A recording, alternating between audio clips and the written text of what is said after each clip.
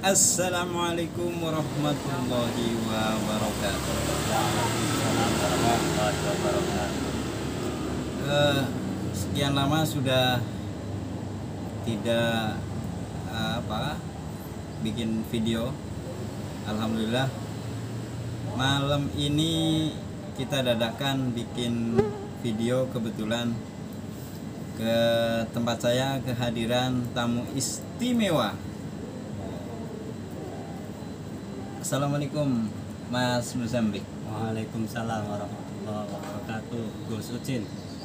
Eh, ini kawan, kawan seperjuangan, kawan nongkrong. Jadi saya merasa senang, merasa berterima kasih dengan kawan kita ini. Jadi Mas Zambik ini pemilik eh, apa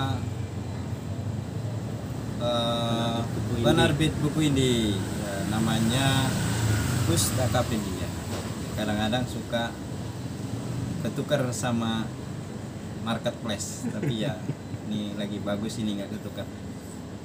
Nah soal soal apa sebenarnya yang menyangkut dengan Mas Zambik ini yaitu soal saya ini kan alumni Sidikia. Eh, jadi belum lama ini terbit satu buku yang berjudul Saksi Kebajikan Sang Kiai. Nah, ini bukunya dan di atas itu Al-Mafullah sedang menatap tulisan kecil tul- tulisannya Pustakapedia. Nah ini orangnya ini ini Mas Zambik yang punya penerbitannya. Gimana kabar Mas Zambik? Alhamdulillah Alhamdulillah. sehat-sehat. Eh, sudah berapa karya buku yang terbit di Pustakapedia? Eh, sampai sekarang sekitar 350-an judul buku. 350-an judul buku itu bukan jumlah yang sedikit. Ini luar biasa. Eh, sebagai apa penerbit rintisan di kota metropolitan yang kayaknya masih jarang ya Mas ya kalau Jakarta mah ya Jarang sekali. jarang sekali. Banyaknya di Jogja. banyak ini di Jogja. Nah, Alhamdulillah buku ini diterbitkan sama Mas Muzambik. Terima kasih ya Mas ya. Sama-sama. Sudah Jadi itu juga atas inisiatif tim literasi Santai Nasidikia. Nah, ini saya sebenarnya kan penerbitan ya tugasnya menerbitkan, tetapi Mas Zambik itu bukan hanya soal penerbitan, tapi beliau juga suka membaca dan suka menulis tentunya sehingga saya juga minta pendapat dari Mas Zambik mungkin bisa nggak sedikit mengulas tentang eh, fisiknya fisiknya buku ini terus bagaimana layoutnya bagaimana sampai isinya. Ter- terserah Mas Zambik mau melihatnya seperti apa gitu. Ini kesempatan hari ini saya kepengen dapat bocorannya lah dari Mas Zambik ini kira-kira bagaimana melihat buku satu buku yang diterbitkan oleh Pustakapedia oke Mas. Nah, gimana menurut Mas Zambik ini Jadi sebelum ke hal-hal teknis, saya kira ada beberapa kriteria tentang buku yang baik itu seperti apa. Biasanya buku-buku yang baik itu tulisan-tulisannya baik, eh, dia menginspirasi eh, atau menggerakkan. Bahasanya buku itu adalah sebuah kalimat yang bisa menggerakkan atau mengubah dunia atau mengubah cara pandang orang atau memberi inspirasi atau misalnya ada keteladanan di sana atau ada kisah-kisah yang bisa membangun empati kayak misalnya buku-buku sastra itu kan bisa membangun empati kita eh, terhadap lingkungan sosial kita yang kita hadapi. Nah, buku ini adalah buku tentang kesaksian para tokoh dan para alumni Pondok Pesantren Nasidikia. Jadi buku ini adalah kesaksian eh, orang-orang yang kebetulan penulis dan tokoh-tokoh itu tentang tokoh besar kiai tokoh besar di DKI Jakarta yaitu Kiai Nur uh, Iskandar ya. Ya, Kiai Nur Iskandar itu saya kira sudah sangat masyhur di Indonesia tapi kalau uh, kita cari literatur tentang Kiai Nur itu kan masih sangat minim sekali sangat minim mas. sangat Betul. minim Soal soal gagasan, soal tulisan itu sangat minim. padahal uh, kerja-kerja sosial dan keagamaan Kiai itu sudah sangat panjang sekali beliau lakukan. Tapi saya kira kenapa perjuangan dan uswah hasanah dari Kiai Nur itu belum sampai ke kalangan uh, generasi kita hari ini. Karena tidak ada yang menyuarakan itu. Nah buku ini uh, di antaranya di antaranya adalah menyuarakan bagaimana sepak terjang, bagaimana misalnya uh, keistiqomahan Kiai Nur terhadap perjuangannya itu hingga beliau menjadi sekarang seperti sekarang ini. Dan ini bukan hanya tentang Kiai Nur Iskandar tapi tentang bagaimana uh, si penulis-penulis itu menangkap hal-hal yang sifatnya subjektif dari pertemuan dengan Kiai Nur-. Tapi di situ saya lihat, saya baca dari beberapa tokoh ini ada kesamaan yaitu uh, kerja keras beliau, kedermawanan beliau dan ketuk- ketekunannya itu. Jadi beliau itu sangat mengayomi sekali dan Artinya di situ ada sisi objektif, Iya. objektivitasnya ya. betul betul karena uh, Kiai Nur itu kan ada ada sesuatu yang diistiqomahkan jadi kalau orang sudah istiqomah itu ketemu siapa pun itu saja yang yang nampak dia akan dikenal sebagai apa bahasa modernnya mungkin dia beliau sudah punya personal branding jadi kalau kita misalnya kiai yang dermawan itu siapa orang akan berpikir ya Kiai Nur gitu. atau kiai-kiai yang lain saya kira punya brandingnya sendiri-sendiri gitu. Nah, kesaksian ini ditulis oleh tokoh yang bukan saja dari kalangan pesantren atau misalnya dari kalangan NU saja. Di sini ada tokoh-tokoh misalnya birokrat Ya. atau Anies bahkan Baswedan. Anies Baswedan atau bahkan uh, Kiai Abdul Pak Abdul Mukti itu ya. Betul.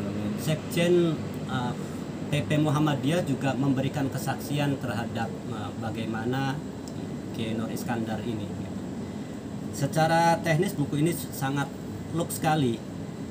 Layoutnya dibuat dengan sangat serius. Saya kira uh, kalau saudara-saudara pegang buku ini dari fisiknya saja sudah lihat bagaimana proses yang sudah dijalani oleh tim literasi ini dan ini perlu diapresiasi oleh semua pembaca dan harapannya buku itu untuk dibaca kemudian uh, untuk diresapi nilai-nilai dari resapi dari nilai-nilai makna yang terkandung dalam buku ini supaya dia tidak menjadi hanya menjadi pajangan saja supaya lahir kiai nur kiai nur yang lebih muda kiai kiai nur kiai nur baru yang apa namanya Yang lebih tantangannya akan berbeda ya. yang lebih smart yang lebih Tangguh.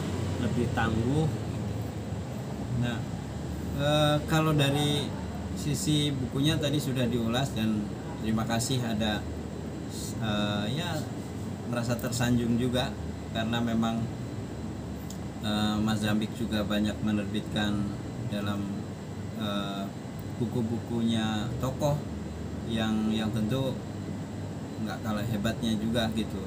Artinya punya peran yang penting di masyarakat gitu.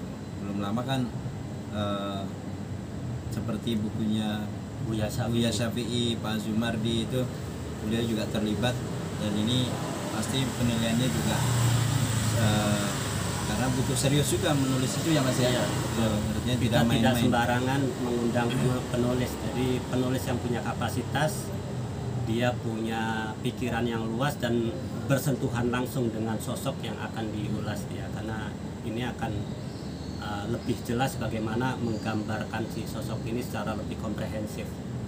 Eh, gini Mas, ini kan sebenarnya nih jujur baru awal ya karena tim memang dadakan membuat tetapi kami juga sebenarnya ke- kepengen ada apresiasi yang serius gitu ya terhadap sosok guru gitu kan. Kemudian juga berpikir bagaimana sebuah pemikiran-pemikiran eh, guru kami ini yang memang secara tulisan itu kan jarang gitu ya. Maksudnya memberikan pendapat tentang soal hukum misalkan hukum agama atau kajiannya seperti apa jarang. Tapi itu lebih ke dakwah langsung misalkan soal eh, miras prostitusi beliau langsung di lapangan memerangi. Artinya beliau juga punya kajiannya tersendiri ya kalau kita mau bedah gitu. Dan itu sangat mungkin gitu. Nah saya yang mau saya tanyakan eh, sebenarnya apa sih perannya buku itu sendiri terhadap tokohnya yang kita tuliskan gitu kan? Dan bagi bagi apa bagi masyarakat sebenarnya. Ini kan masyarakat khususnya masyarakat santri kalau ngomongin buku ini ya. Karena pesantren itu kan tidak hanya sedikit Iya, gitu. Betul. tetapi banyak sekali pesantren-pesantren yang tentunya juga santri-santrinya kan punya kepentingan juga Iya, menulis menuliskan buku-buku ya baik tentang banyak hal lah gitu. Kira-kira pra- peran buku itu sejauh mana mas gitu? Jadi eh, buku itu, terutama buku tentang sosok ya tentang tokoh itu eh, adalah ini kan sebagaimana kita tahu bahwa almarhumlah eh, Kiai Nur itu sudah almarhum. Mudah-mudahan beliau ditempatkan di sisi Allah baik dan secara fisik beliau tidak ada dan sudah tidak bersama kita lagi tapi buku ini menghadirkan Kiai Nur dalam apa namanya spektrum yang berbeda. Jadi artinya dengan lahirnya buku ini Kiai Nur itu masih tetap uh, ada di tengah-tengah kita. Jadi sewaktu beliau masih jumeneng Mhm. masih ada beliau melakukan dakwah bilhal Hmm. buku ini adalah sebuah cermin dakwah bilhal yang ditulis makanya ini adalah dakwah bil kolam Hmm. di mana cerminan dari dakwah bilhalnya Kiai Nur makanya kalau buku ini kemudian menginspirasi orang untuk melakukan dakwah sebagaimana dakwahnya yang dilakukan oleh Kiai Nur maka di situ Kiai Nur masih punya peran terhadap eh, masalah-masalah sosial di Ja- Jakarta ya terutama ya di kota metropolitan yang saya kira perilaku sosialnya berbeda dengan daerah artinya buku itu kan menjadi satu apa seperti menghidupkan kembali gitu ya mas ya?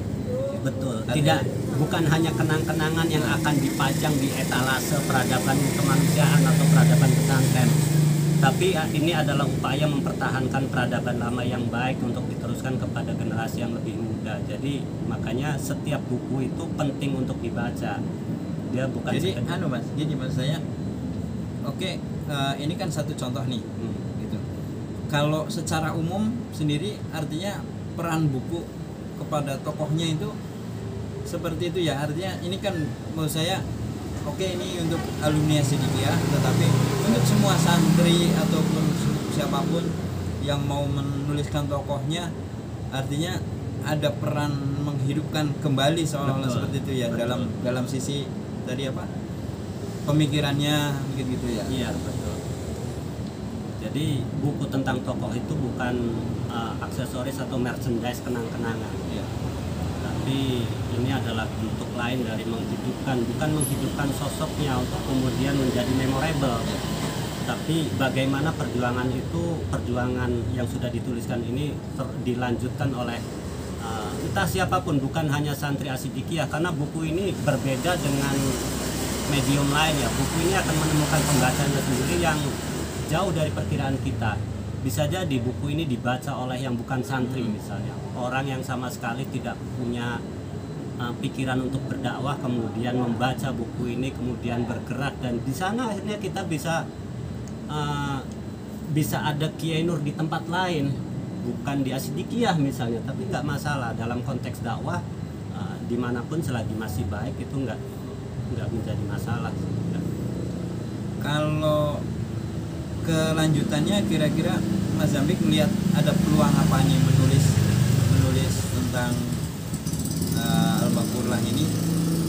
Bisa memotret dari sisi mana yang bisa kita tuliskan.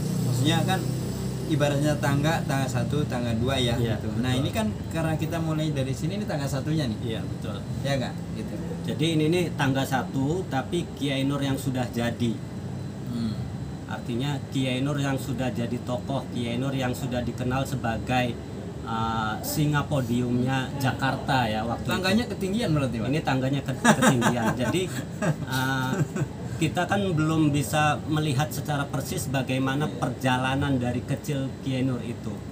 Bagaimana beliau mulai tertarik dengan misalnya ilmu agama, bagaimana beliau misalnya di mondoknya itu seperti apa, ngajinya seperti apa, sehingga beliau menjadi sampai sekarang ini. Jadi kisah tentang perjalanan atau bisa kita sebut sebagai biografi itu saya kira perlu. Pengantar ke sininya perlu juga artinya ya mas ya? Perlu pengantar ke sini itu Ke sininya ya, supaya- kok bisa begini gitu ya? Iya, supaya beliau itu tidak serta merta lahir jadi begini.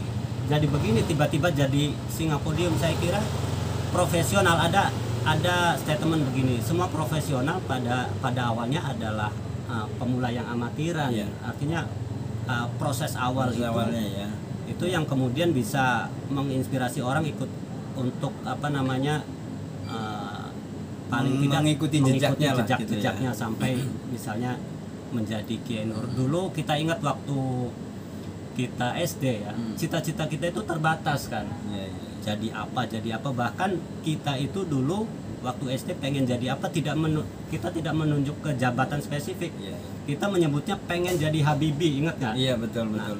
buku-buku tokoh ini saya kira perlu untuk disebarluaskan supaya generasi yang anak-anak kecil itu ketika pengen jadi apa tidak tidak bilangnya pengen jadi Tapi cari Pendakwah. bukunya ya.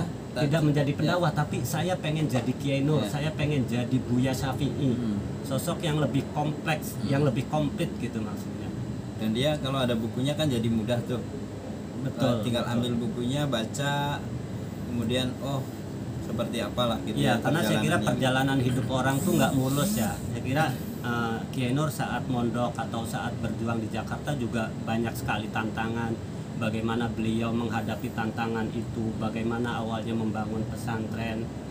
Jadi kalau buku-buku tentang kesuksesan itu, saya kira perlu dilihat bagaimana proses eh, jatuh bangunnya eh, tokoh itu karena semua orang punya motivasi atau punya keinginan bercita-cita menjadi sukses tapi tidak siap menghadapi tantangan atau ketika misalnya ada cobaan itu langsung, Langsung. berhenti dan mundur di tengah jalan Jadi begitu.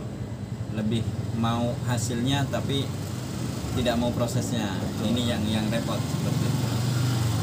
Nah, Terus yang rokok lagi. kan? ya rokok mas sambil ngerokok sambil ngopi. Ini Boleh. bicaranya santai ya, ini terlalu serius kan? Iya. Karena ini dadakan jadi kebenaran ke sini langsung kita tembak untuk memberikan. Wah, Iya ini juga katanya biar mirip uh, Bro Chandra Malik. iya iya. Saya dianggap di GS nya ya nggak apa-apa lah. Eh, lanjut ya mas. Boleh, sedikit ini aja lah apa namanya kita eh, memberikan sharing juga gitu. Nah kalau peran santri sebagai murid terhadap gurunya itu seperti apa mas? Kira-kira melihat di dalam dalam menulis ini menjadi sejauh mana pentingnya gitu? Sangat penting sekali. Jadi uh, di santri itu ada tradisi sanat, sana ilmu harus bersanat, amal harus bersanat, dan saya kira ada satu lagi yang kita sering lupa bahwa perilaku kita juga harus bersanat. Santri itu perilakunya harusnya sanatnya itu ke kiai. Jadi ulama itu sanatnya dari mana? Ulama warasatul Ambiya. ambiya. Makanya ulama itu meniru perilakunya para nabi. Nabi. Kemudian di generasi para ulama di bawahnya itu ada ustadz, ada kiai. Jadi kiai atau ustadz itu warasatul ulama. Santri posisinya di mana? Santri itu warasatul kiai. Kiai. Dalam konteks keilmuannya, dalam konteks ibadahnya, dalam konteks perilaku sosialnya dan lain-lain. Dan buku ini saya kira uh, adalah sebagai upaya melanjutkan sanad ke, ke generasi berikutnya. Ya sanad keilmuan atau sanad perilaku yang sudah ter- terekam di sini.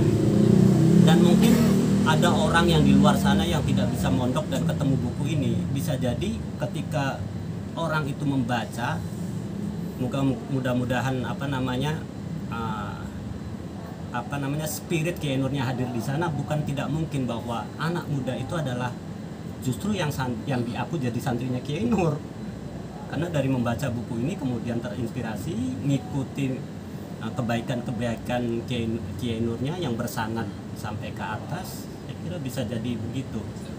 Dan ini bagian hit hitbat ini bagian dari meneruskan perjuangan dan uh, santri itu saya kira ketika lulus pondok tidak langsung berhenti ya untuk uh, berkhidmat ke kiai gitu. Atau misalnya wah kiainya almarhum cukup uh, kirim- selesai gitu ya? Ya cukup kirim fatihah atau tahlilan setiap malam Jumat saya kira uh, tidak cukup itu walaupun itu justru bagus ya. justru itu momen kita melanjutkan ya sebenarnya iya Gimana? betul betul.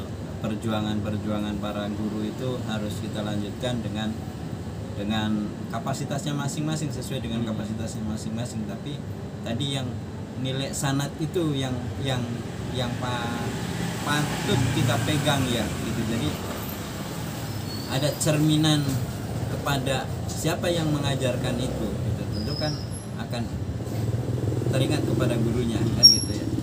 Bahwa dulu guru kita mengajarkan yang baik.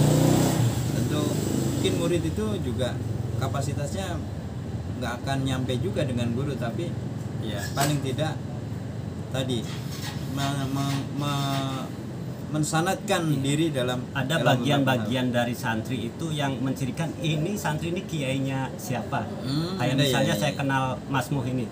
Mas Muh ini dermawan ini oh pantas ketika saya tahu bahwa Mas Muh ini santrinya Kinur oh pantas santrinya Kinur oh Kiai Nurnya juga komitmennya tinggi bagus dan dermawan gitu nah akan akan ada begitunya gitu walaupun tidak 100% karena duha tahajudnya mungkin berat, berat, itu iya. sunnah sunnahnya lain. Siangan iya.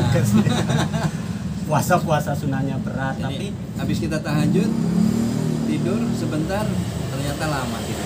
Dan santri itu mengambil bagian-bagian kecil dari contoh-contoh yang baik dari kiai-kiai itu. Makanya eh, apa namanya kalau kita bicara zuriyah Rasulullah secara umum yang ada sekarang ini kalau dikumpulkan ya mungkin itu sebagai Rasulullah itu gitu yang sudah terpecah guys. Jadi santri itu kumpulan santrinya Kiai Nur itu kalau jadikan satu diperes yaitu Hmm. Kiai Nur gitu.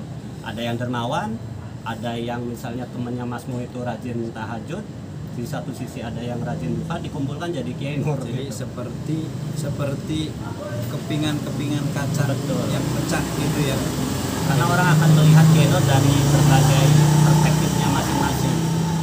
Mereka mengalami uh, pengalaman-pengalaman spiritual sendiri yang berbeda, yang khas mengalami apa namanya uh, perasaan-perasaan yang berbeda atau mendapatkan pesan-pesan mauidhoh yang berbeda tergantung dengan uh, kondisi santrinya kan biasanya kalau kiai itu kan ada santri yang datang itu kok pesannya beda-beda. Nah itulah yang diamalkan sama si santri itu. Eh, ini saya terima kasih mas udah Sama-sama. sudah memberikan waktunya ditodong juga iya sebenarnya sebenarnya duduk di sini biasa bercanda ketawa Bisa. TV tapi emang ya beginilah Eh, saya terima kasih banyak sudah Sama-sama. ini saya minta waktu sebentar mas kita kirim fatihah dulu untuk al-maghfurlah Ya, dan kiai-kiai saya lain kiai dari dari muncul ya muncul Cirebon. Saya dari Pondok Pesantren Nurul Huda muncul Cirebon. ila hadir Nabi Mustafa Rasulullah. Syekh Al-Fatihah.